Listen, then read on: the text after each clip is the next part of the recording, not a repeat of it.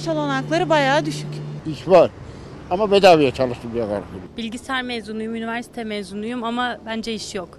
Varsa da hakkını vermiyorlar. Çalışırsan her tarafta iş var. Çalışmazsan hiçbir tarafta iş yok. Türkiye'nin en büyük 500 sanayi kuruluşu açıklandı. Açıklanan listeye göre Kayseri'den 15 firma var. Bakalım vatandaşlar Kayseri'deki iş olanakları hakkında ne düşünüyorlar? İş olanağı yok Türkiye'de açıkçası. Yani diploma enflasyonu diyoruz biz buna. Ben bugün iyi bir üniversite bitiriyorum ama bunun karşılığında iş bulamıyorum. Çünkü bir sürü diplomalı işsiz var. Bunun sebebini ben buna bağlıyorum. Bilgisayar mezunuyum, üniversite mezunuyum ama bence iş yok. Varsa da hakkını vermiyorlar. Neden sizce? Ya ben aslında buraya yeni taşındım. Çok da fazla bilmiyorum. 6 ay oldu taşınalı.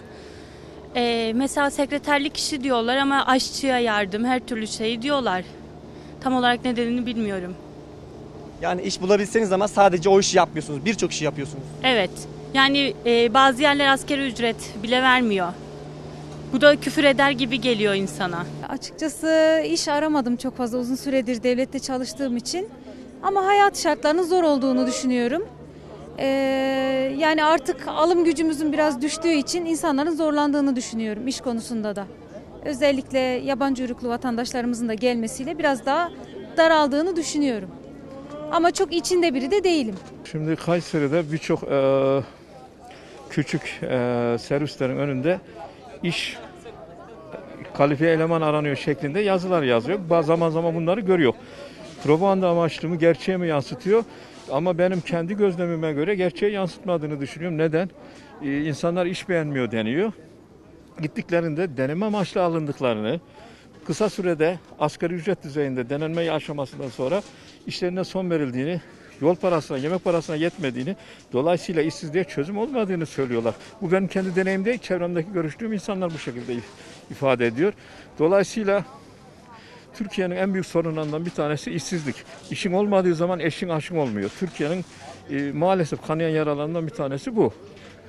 Buna e, üretime dayalı, istihdama dayalı bir politika geliştirmediği sürece Kayseri yerelinde de, Türkiye genelinde de bu büyük bir sorun.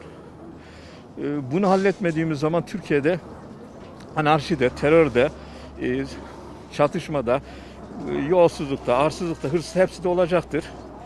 E, Türkiye'nin refaha, mutluluğa erişmesi için işsizliğin önlenmesi gerekir diye düşünüyorum. Hayır şu anlık bulamıyorum. Ben üniversite sınavından çalışıyorum. Ayrıyetten part time bir iş bulmak istiyorum ama bütün iş yerlerinin hepsi e, sıfır kapasiteyle çalışıyor. ner- Neredeyse. Hani sanayi sektöründe tek fazla e, iş bulabiliyoruz. O da part time olmadığı için. Yani öğrenci olmamıza rağmen hiçbir iş bulamıyoruz biz. Başka da başka diyebileceğim bir şey yok burada. Peki sizce neden iş bulamıyor olabilirsiniz?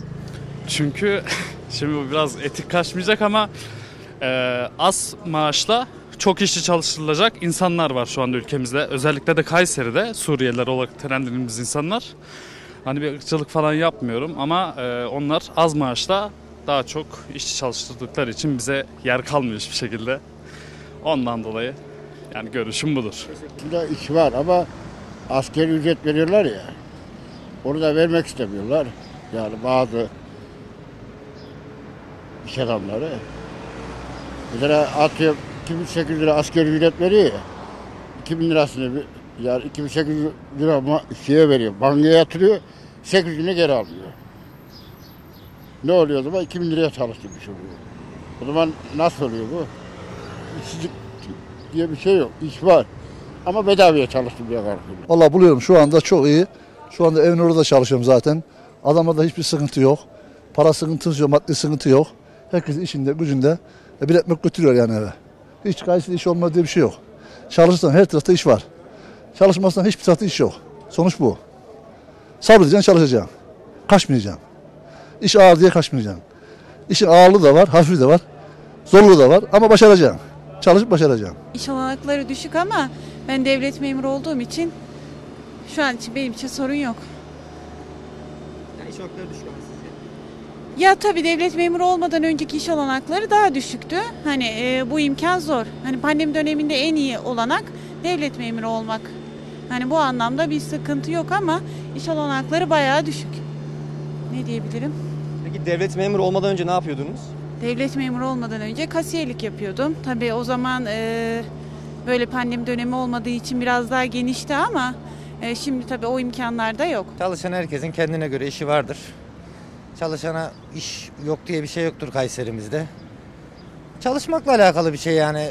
Kimisi memnun olmaz içinden, kimisi aldığı ücretten memnun olmaz ama en nihayetinde çalışanların da kendine göre derdi var, patronların da kendine göre derdi var. Ben kendi şartlarımda iş buluyorum. İşimden memnunum.